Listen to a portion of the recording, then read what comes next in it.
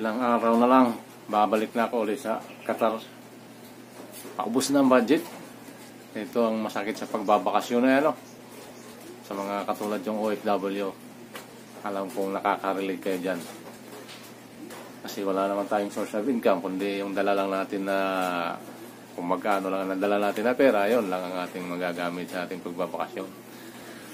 Sa bagay, marami naman ako nagawa dito sa bahay. Napalitan ko yung dingding namin. Kasi yung dating dingding, plywood, yung kalahati, yung, actually yung bahay namin ay ang kalahati niyan ay nakasintada sa taas. At ang kalahati ay naka, dati ay plywood ngayon ay pinalitan ko ng ano ng cooler roof. Pinalitan ko tapos nilagyan ko na lang ng insulation para hindi mainit pagka nagtaginit na so ilang araw na lang ako'y babalik na sa Qatar kailangan magtrabaho pero siguro ito ay magiging kakasawa na rin sa abroad eh baka itong tatapusin ko lang itong isang taon tapos ako'y magpo-forgood na dito sa atin sa Pilipinas. Kasi matagal-tagal na rin ako hindi kapiling ng aking pamilya. Pero mo eh, 2005 hanggang ngayon, nag-abroad pa rin ako. Gaya ng naunang video ko, nabanggit ko nga doon ano eh, yung lifespan niya nating mga kalalakihan ay ang average ay 65. So, ako'y kung hanggang doon lang, kung average lang, halimbawa lang, halimbawa average nga lang ang buhay, ay sana naman eh. At least yung the remaining days of my life ay makapiling ko ng aking pamilya. Kasi lagi akong wala sa tabi nila eh. Lagi akong nasa malayo. Eh kailangan eh, kailangan magtrabaho, di ba? Ganun naman ang buhay nating mga OFW, kailangan magtrabaho.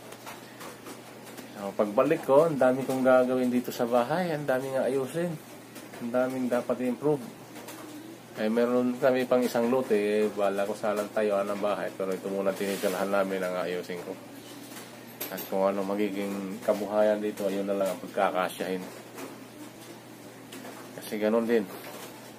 Ilang years na ako sa abroad eh. Hindi naman talaga yayaman eh. Tama din lang. Napa, at saka parang ko naman yung mga bata. Meron pa akong isang high school siguro ay eh, mapagtsatsaga na nila, may, may gagapang ko na yan dito. Eh, habang nandun ako, eh, pan, pagtatabi ko siya ng kanyang pang-tuition hanggang college. Tapos, yung pangkain namin, eh, dito ko na lang haharapin sa atin sa Pilipinas. Eh, marami naman dito hindi nag-abroad eh.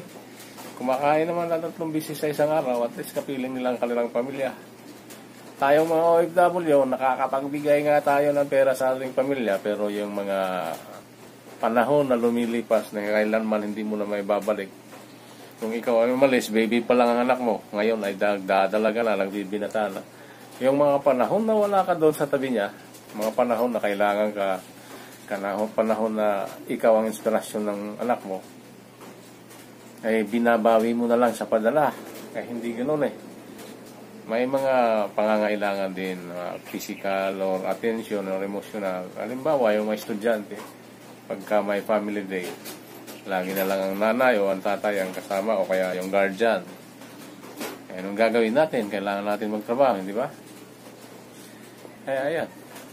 Kaya ako tumagal sa abroad dahil sa ganyan. Gusto ko silang makapag-aral, mabigay ang lahat ng kanilang pangangailangan. Kaya lang napapansin ko nga sa aking katawan, ako'y tumatanda na. Maraming eh, hindi nakagaya ng dating endurance ko. Ako'y tumatanda na talaga ramdam ko sa katawan ko. Parang ngayon ay dati kayang-kaya ko yung ano, kayang-kaya kong home shift. Parang ngayon ay parang nahirap na.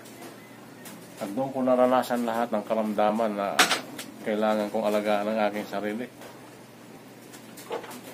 Eh, ganun pa man, eh, hindi ko naman, hindi ka naman, hindi, hindi naman tayo pwede sumuko basta-basta pag tayo may karamdaman, di ba? Dapat eh, paglaban, alagaan ang katawan, ng sarili, di ba? lahat ng makakabuti sa iyong katawan ay gagawin mo pag ikaw ay nasa abroad. May may balak sana kung ano, mag-ayos ng aming gutter. Kanina sana, akit na ako sa bubong, kaya wala na akong pambayad sa gagawa. So ako na lang sana ang gagawa. Kaya lang, bigla naman umulan. Ay, Batang dumating ako dito, eh, ulan lang ulan. Minsan lang tumigil ang ulan. Kaya nakagawa ko na sa bubong. Wala na akong pampagawa ng postiso. Nabawasan na naman ako ng isang ngipin. Kaya yan o, may blanco na naman.